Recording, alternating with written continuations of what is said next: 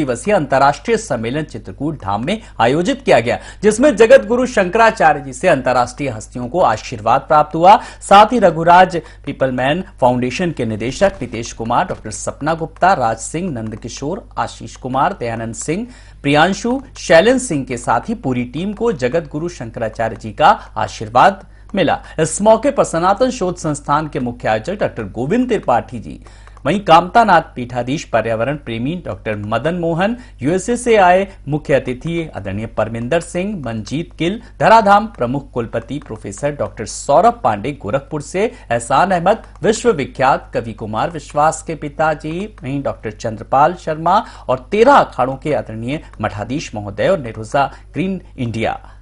परिवार के सीओ नीरज गुप्ता, वरिष्ठ पत्रकार संदीप रिछारिया, आनंद पटेल सहित तमाम जानी मानी हस्तियों ने कार्यक्रम में शिरकत की।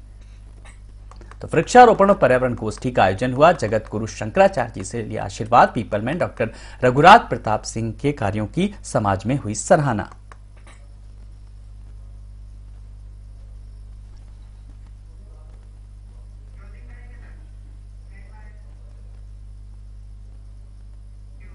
इन्हीं खबरों के साथ इस बुलेटिन